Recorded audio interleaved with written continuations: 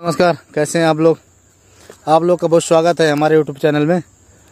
तो दोस्तों आज हम बात करते हैं कुछ ऐसे वर्क परमिट के बारे में जो अधिकांश से कंफ्यूज होते हैं जो हमारे जो सब्सक्राइबर हैं और जो हमारे दोस्त हैं जो चाहने वाले हैं अ, तो वो लोग बहुत परेशान हैं क्रोशिया वर्क परमिट के बारे में।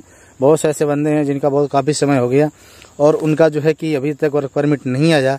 वो लोग बहुत परेशान हैं और कन्फ्यूज़ हैं।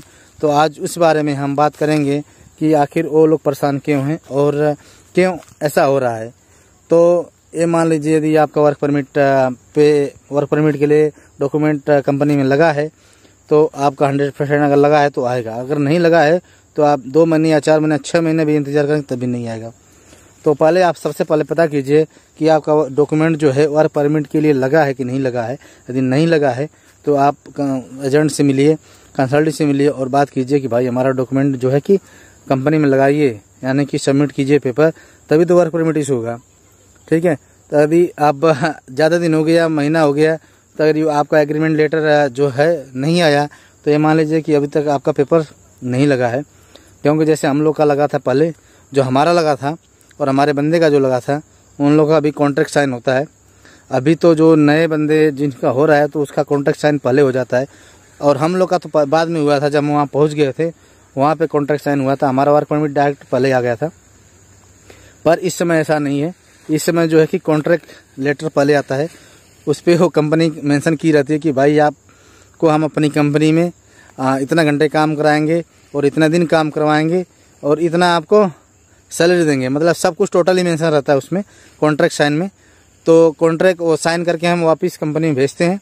उसके बाद जो है कि जब भेज देते हैं, उसके बाद हमारा जो है वर्क परमिट उसके आधार पे इशू होता है, वो फोर्टी फाइव डेज़ या दो महीने के अंदर वर्क परमिट इशू हो जाता है तो हमको मिल जाता है। तो यही है कॉन्ट्रैक्ट वर्क परमिट कॉन्ट्रैक्ट एक अलग होता है वर्क परमिट एक अलग होता है, ठीक है? तो बहुत से ऐसे वीडियो में आप लोग देखे होंगे, बहुत से ऐसे लोग कन्फ्यूज़न कर दे रहे हैं कि जो कॉन्ट्रैक्ट लेटर होता है, वही वर्क परमिट होता है, ऐसे लोग बता रहे हैं, पर ऐसा नहीं है। कॉन्ट्रैक्ट लेटर अलग होता है और वर्क परमिट अलग होता है। हाँ जॉब ऑफ़र लेटर जो कंपनी जॉब ऑफ़र करती है आपको वही वर्क परमिट है पर उनके हाथ में नहीं होता कि डायरेक्ट आपको जॉब ऑफ़र दे दें। ठीक है? वो पेपर सबसे पहले उनको पुलिस स्टेशन में जमा करना पड़ता है। उनको बताना पड़ता है कि भाई, मैं इंडिया से अपनी कंपनी में ये बंदे मंगा रहा हूँ। इनको अपनी कंपनी में जॉब दूँगा और इतनी सैलरी दूँगा। उसके बाद सब डॉक्यूमेंट वेरीफाई होके वो एक पुलिस स्टेशन से आपका एक परमिट इशू करते हैं और आपको देते हैं। और उस परमिट पे आप क्रोशिया जाते हैं। और उस कंपनी में काम करते हैं। तो ये वर्क परमिट और जो है कि कॉन्ट्रैक्ट लेटर ये दोनों अलग अलग हैं। ऐसा मत सोचिएगा आपकी यहाँ एक ही है। तो कॉन्ट्रैक्ट लेटर अलग हो गया और वर्क परमिट अलग हो गया हो गया। तो बस इसमें थोड़ा सा अंतर है। लोग कंफ्यूज हो जा रहे हैं। लोग समझ नहीं पा रहे हैं क्या है, क्या नहीं है। और कॉन्ट्रैक्ट लेटर में जैसे कि आपको टोटल मेंशन रहता है कि आप इस कंपनी में हो और इतने घंटे काम करना है, इतने दिन काम करना है और इतनी सैलरी आपको मिलेगी। वो कॉन्ट्रैक्ट लेटर हो गया। और वर्क परमिट में केवल कंपनी का नाम रहेगा और आपका नाम। पहला नंबर आपका नाम रहेगा और दूसरा नंबर पे कंपनी का नाम रहेगा।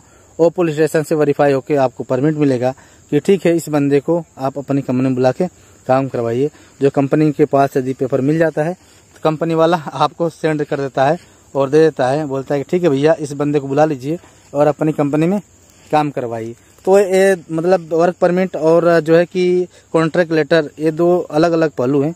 बस आदमी लोग कंफ्यूज कर देता है, समझ नहीं पाता है कि क्या है। और हमसे लगातार पूछते रहते हैं भैया कि जो कॉन्ट्रैक्ट लेटर होता है, वही वर्क परमिट होता है, ऐसे हम सुनने में आ रहा है, पर ऐसा कुछ भी नहीं। कॉन्ट्रैक्ट लेटर कॉन्ट्रैक्ट लेटर होता है, उस पर आप साइन करके कंपनी में देते हैं। उसको साइन करते हैं कि हाँ भैया ठीक है, हम एग्री हैं, आपके इस कंडीशन टर्म एंड कंडीशन पे हम एग्री हैं और आपकी कंपनी के लिए हम तैयार हैं काम करने के लिए। तो कॉन्ट्रैक्ट साइन करके हम जब देते हैं, उसके बाद दो वर्क परमिट इशू होता है। तो आशा है कि आप लोग को मेरी बात समझ में आ गई होगी कि कॉन्ट्रैक्ट लेटर और वर्क परमिट है, क्या अंतर है और वो कैसा होता है। ठीक है?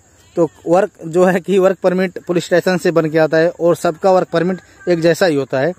ठीक है? उसमें ज़्यादा अंतर नहीं होता है। लेकिन जो कॉन्ट्रैक्ट लेटर होता है, वो भिन्न भिन्न होता है। यानी कि अलग कंपनियों का अलग लेटर होता है, दूसरी कंपनी का दूसरा लेटर होगा। उसमें कोई समानता नहीं रहती है, सबका अलग अलग रहता है। तो अलग अलग जैसे उनका कंपनी का अलग अलग लोगो है तो अलग मिलेगा। तो यही अंतर है वर्क परमिट और जो कॉन्ट्रैक्ट लेटर होता है, उसमें है। तो आशा है कि आप लोगों को बात समझ में आ गई होगी। अगर नहीं आई होगी तो आप कमेंट सेक्शन में जाकर कमेंट कीजिए। और मुझे अपनी राय दीजिए, बताइए कि क्या समझ में नहीं आया। फिर उसके बेस पे हम आपको वीडियो बना के आपके बीच में लाएँगे। यदि आप मेरे चैनल पर नए हैं और मेरे वीडियो पे भी नहीं हैं, चैनल पे नए हैं तो चैनल को सब्सक्राइब कर लीजिए और बेल आइकन को दबा दीजिए ताकि आने वाला वीडियो का नोटिफिकेशन आपको पहले मिल सके।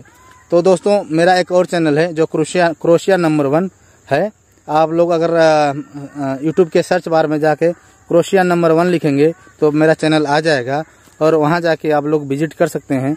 और उस पर अच्छा खासा वीडियो डाला हुआ है मेरा।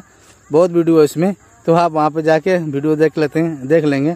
और उसमें मेरा कॉन्टैक्ट नंबर भी है, और उसमें व्हाट्सअप नंबर भी है क्रोशिया का भी है, सब है व्हाट्सअप लिंक भी है मतलब फेसबुक लिंक भी है इंस्टाग्राम भी लिंक है, सब कुछ है। और इस वीडियो में सब डालूँगा। तो आप लोग वीडियो में बने रहिए और देखते रहिए।